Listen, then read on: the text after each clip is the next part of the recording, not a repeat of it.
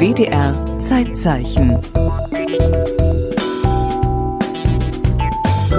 Stichtag heute. 19. Oktober 1762. Die Einweihung von St. Michaelis, dem Hamburger Michel.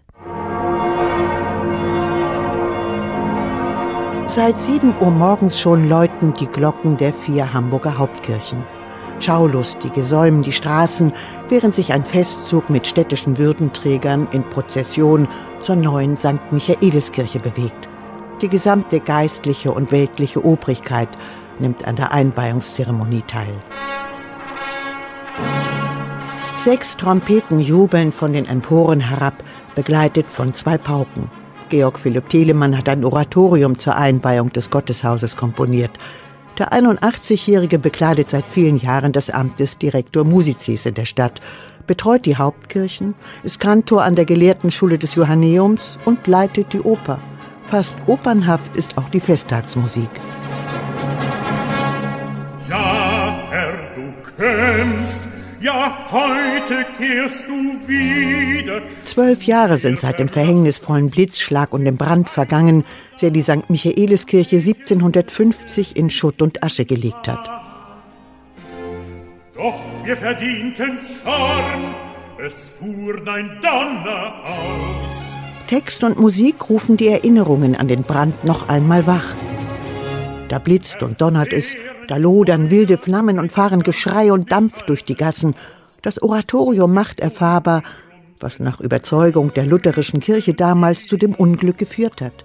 Die Sünden der Hamburgerinnen und Hamburger und ihre Gottlosigkeit. Das haben ja die Pastoren von den Kanzeln herab verkündet. Gott hat sich abgewandt und kaum wendet er sich ab, kommt dieses große Unglück. Der sitzt da wie so ein Vater Zeus oben im Himmel mit lauter Peitschen, Blitzen und Speeren und wirft die wie so ein wütender Despot auf die Erde herab erklärt Alexander Röder, Hauptpastor an St. Michaelis heute. Neun Tage nach dem Brand ruft der Rat der Stadt zu einem außerordentlichen Bußfast- und Bettage auf. Die Geistlichen sollen über die Geschichte von Sodom und Gomorra predigen und für den Wiederaufbau der Kirche sammeln. Friedrich Wagner von St. Michaelis gibt seiner Predigt den sprechenden Titel Der gerechte Feuereifer Gottes über Hamburg und erklärt darin die Stadt zum Sündenbabel. Ist es nicht wahr, dass bei dem reichen Genüsse des leiblichen Guten auch Hoffart, Stolz, Pracht, Völlerei, Wollust, Üppigkeit und Übermut bei vielen in dir die Überhand genommen. Die Spendenbereitschaft für den Wiederaufbau ist überwältigend. Das hat auch mit der besonderen Geschichte von St. Michaelis und ihrem Standort in der sogenannten Neustadt zu tun. Diese war erst im 17. Jahrhundert entstanden als Hamburg nach Ende des Dreißigjährigen Krieges keine weiteren Einwanderer mehr aufnehmen konnte. 1661 hatte man dort die große, prächtige St. Michaeliskirche im Stil der Renaissance errichtet, die nach der Eingemeindung der Neustadt, knapp 25 Jahre später, die fünfte Hauptkirche Hamburgs wurde. Religionspolitisch war der Bau des Gotteshauses auch eine Machtdemonstration gewesen. Die Neustadt grenzt an Altona damals eine dänische Stadt, in der Religionsfreiheit herrschte. Und dort durften eben die Katholiken, die Mennoniten, die Reformierten, die Juden, alle durften dort ihre Tempel, ihre Synagogen, ihre Kirchen bauen. Und in Hamburg durfte man alles sein. Hauptsache man war lutherisch. Und insofern musste hier dann auch in der Neustadt an der Grenze zu Altona so ein Bollwerk des Luthertums errichtet werden. Und als das niedergebrannt war, war völlig klar, hier musste wieder eine große Kirche her. Zwei Architekten werden mit dem Neubau beauftragt. Der erfahrene Steinmetz Johann Leonhard Prey, der schon am Bau anderer Kirchen in Hamburg mitgewirkt hat, und der technisch versierte, aber noch unbekannte Ernst-Georg Sonin. Der hatte gute Freunde und hatte Vitamin B, um es mal deutlich zu sagen. Die haben ihn beim Senat dann empfohlen. Er hatte bis dahin nur eine Brauerei gebaut. Prey und Sonin orientieren sich bei ihrem Bau an der barocken Dresdner Frauenkirche Sie nutzen die Fundamente des alten Gotteshauses, ergänzen diese durch zwei kurze Querarme und verlegen die Innenpfeiler nach außen, sodass über einem kreuzförmigen Grundriss ein Zentralraum entsteht. Es gab wie später bei der Elbphilharmonie Jahrhunderte später einen wahnsinnigen Streit um das Dach, ob das abgesenkt werden kann auf die vier Pfeiler, die das ganze Gebäude tragen. Der eine sagte, das geht nicht, der andere sagte, ich habe es berechnet, das geht.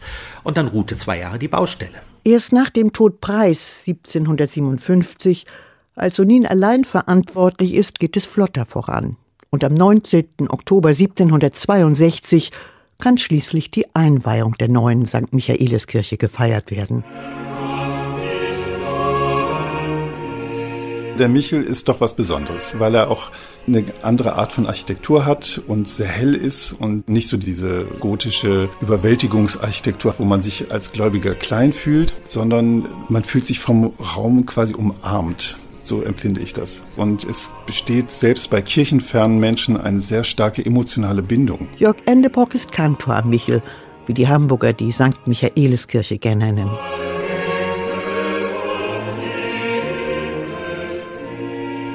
In der Architektur spiegelt sich die Idee der protestantischen Theologie des 18. Jahrhunderts. Durch die Anordnung der Emporen wirkt der Raum beinahe rund und ist zentriert auf die Kanzel, auf die Predigt des Pastors. Auch das Gestühl ist ja zum Teil falsch rum, in Anführungsstrichen, immer auf die Kanzel hin ausgerichtet. Das hat auch so was Theaterhaftes. Anders als die mit Kunstwerken überladenen Barockkirchen im katholischen Österreich und in Bayern ist die Innenausstattung auf Wunsch der Architekten vergleichsweise schlicht. Die in weiß gehaltenen Wände und Decken sind einzig mit Stuck verziert. Sonin hat gesagt, es soll konzentriert sein auf die Prinzipalstücke einer Kirche, Kanzel, Altar, Taufbecken, Orgel, das reicht. Hinzu kommt, es gibt dem Michel keine Buntglasscheiben, die eine mystische Raumatmosphäre schaffen würden, sondern Klarglasfenster, sagt Alexander Röder. Das war ja nicht, wir sind jetzt so protestantisch und wir wollen keine Buntglasfenster mehr, sondern wir sind so aufgeklärt. Wir wollen die Welt draußen sichtbar machen, auch mit dem Sonnenstand, auch mit Wolken, auch mit Bäumen und Häusern. Der Sonnenstand ändert sich im Laufe eines Gottesdienstes unentwegt und entwirft neue Bilder in der Kirche mit Schattenwirkungen des Stucks. Und das ist das Prinzip gewesen dieses weißen Raumes. Bei der Einweihung von St. Michaelis 1762 fehlt noch der Turm. Das ist nichts Ungewöhnliches damals. Seit dem Mittelalter werden Kirchen oft schon geweiht, wenn der Altarraum fertig ist und man dort Gottesdienst feiern kann. In Hamburg jedoch dauert es 24 lange Jahre. Erst herrscht Uneinigkeit über die Entwürfe Sonins, dann verzögern sich die Arbeiten durch die Wirtschaftskrise infolge des Siebenjährigen Krieges bis der Michelturm 1786 endlich eingeweiht werden kann. Und da schrieb Karl Philipp Emanuel Bach, der Telemanns Nachfolger war, ein weiteres Oratorium. Es ist eine Generation weiter, es ist der galante Stil, aber es ist beides wirklich fantastische Musik, eben auch weil es so stark mit diesem Ort verbunden ist.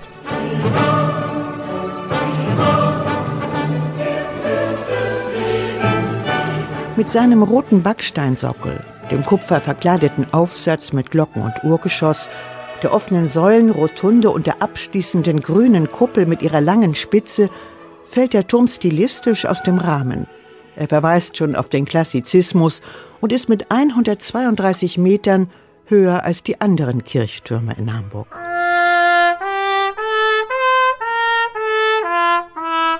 Der Micheltürmer bläst einen Choral hinüber in die Stadt. Zweimal am Tag erfüllt er eine über 300 Jahre alte Tradition. Josef Töne hat gerade sein 30-jähriges Dienstjubiläum gefeiert. Angefangen hat er, da war er noch Student, als der Türmer damals gerade eine Vertretung brauchte. Und ein paar Jahre später war dann die Diskussion in der Gemeinde, lässt man diese Tradition fortlaufen oder einschlafen. Und so kam es, dass mein Kollege und ich uns dann ein Konzept überlegt haben, weil die Problematik liegt ja darin, dass jeden Tag, 365 Tage im Jahr, muss jemand Zeit und Lust haben, herzukommen und ein Choral zu spielen. Und das auf die Minute pünktlich. Ob es stürmt oder schneit, um 10 Uhr morgens und um 21 Uhr abends bläst der Türmer. Jetzt sind wieder mehr Touristen in der Stadt. Und da sehen Sie da unten gleich so eine sehr, sehr große Gruppe. Und die warten dann, weil es auch in den Reiseführern angekündigt wird. Es ist einer der besten Ausblicke über Hamburg, weil man für den Hafen über die Elbphilharmonie bis hinten zum Fernsehturm eigentlich alles sieht, über die Speicherstadt. Ja, eindrücklich. Wunderschön. Der markante Michelturm entwickelt sich im 18. Jahrhundert schnell zum Wahrzeichen der Stadt. Weil er für die vielen Menschen, die noch zur See fuhren damals, als erstes und als letztes von Hamburg sichtbar war und sich so in die Herzen der Menschen hinein geschrieben hat. Mit der großen hellen Kirche dagegen tut sich die Bevölkerung im Stadtteil zunächst schwer. Das war so ähnlich, als sollten wir als Normalbürger plötzlich ins Schloss gehen und uns dort wohlfühlen. Diese Kirche war nicht die Kirche der Leute hier. Sie waren stolz auf den Turm, aber es gab eine Scheu, da reinzugehen. Denn in der Neustadt wohnen seit jeher viele Arme, mehr als in den anderen Kirchspielen Hamburgs. Darauf verweist schon ein Vers aus dem 17. Jahrhundert. Petri de Rieken, Nikolaides Glicken, Katharine de Sturen, also die Nase ganz hoch tragen, Jakobi de Buren, St. Michaelis, der Armen, derer Mölch oder Wölzig Gott erbarmen. Es waren eben tatsächlich kleine Gewerbetreibende und es waren vor allem diese vielen Flüchtlinge, die hier untergebracht waren. Die kamen mit dem, was sie am Leibe trugen. Die Kirchenhistorikerin Ruth Albrecht bezeichnet die sozialen Verhältnisse, die zu dieser Zeit im Umfeld des Michel herrschen, als bedrückend. Fachwerkhäuser, sehr niedrig, sehr enge Bebauung, keine Kanalisation, eine Ansiedelung von ungeheuer vielen Menschen in sehr unklaren sozialen Verhältnissen, oft auf der Straße leben, wenig Schulen und eben Gelegenheitsarbeiter für den großen Hafenbetrieb. Erst ein Jahrhundert später, nach der Cholera-Epidemie im Jahr 1892, investiert Hamburg in die Sanierung der Neustadt. 1906 geriet St. Michaelis erneut in die Schlagzeilen, wieder durch einen Brand, der die Kirche vollständig zerstört. Bei Reparaturarbeiten am Turm war unbemerkt eine Lötlampe umgefallen. Man hatte einen Holzfußboden, dieser Holzfußboden war gedämmt mit Torf. Und diese Lötlampe hat diesen Torf entzündet. Und dann war alles zu spät. Dann konnte der arme Türmer nur noch SOS morsen. Von oben ist ja leider dabei ums Leben gekommen. So wie nach dem Brand 1750 fordert die Stadt auch diesmal wieder die Bevölkerung auf, für den Neubau von St. Michaelis zu spenden. Und auch diesmal ist die Bereitschaft immens. Architekten und Kunsthistoriker plädieren für eine neue Michaeliskirche im Stil der Jahrhundertwende, aber dagegen erhebt sich massiver Protest die Mehrheit der Hamburger wünscht sich den alten Michel zurück. Und so geschieht es dann auch, mit gewissen Korrekturen. Man legt mehr Wert auf Prunk und Protz. Alles, was vorher mit einheimischen Baumitteln gebaut worden ist, nur mit Backstein, mit Eichenholz und mit Sandstein, der auch aus Norddeutschland stammte, kam jetzt Deutschland als Weltmacht, als Kolonialmacht ins Spiel. Es musste Marmor sein. Es wurde kein Eichenholz mehr verwendet, sondern Teakholz. Man wollte zeigen, man war wer. Und der Kaiser hat Geld gewährt, hat seine Werkstätten in Berlin zur Verfügung gestellt, um das alles neu zu schaffen. Was alles ein bisschen gröber als zuvor, aber es war auch der Geschmack der Zeit.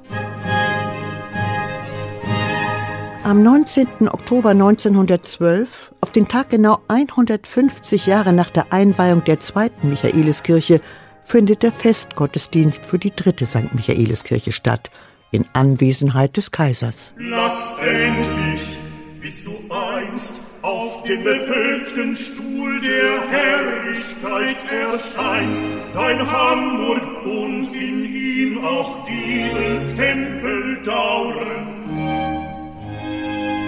Doch dieser Wunsch nach Dauer, von Telemann vor 260 Jahren so eindrücklich musikalisch untermalt, erfüllt sich nicht.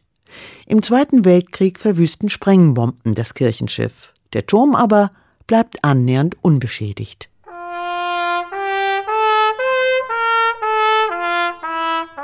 Heute erstrahlt St. Michaelis wieder in neuem Glanz. Ein Schmuckstück der Hansestadt, das große Wohnzimmer für feierliche Anlässe wie Hafengeburtstag und Volkstrauertag und für viele Bürgerinnen und Bürger einfach ihr Michel, dem sich längst alle Hamburger, auch die in der Neustadt verbunden fühlen.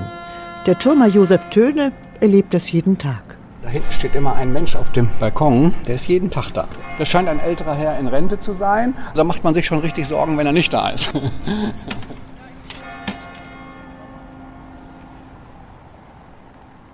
Im Zeitzeichen erinnerte Heide Soltau an die Einweihung der Hamburger Kirche St. Michaelis, heute vor 260 Jahren. Redaktion Gesa Rünker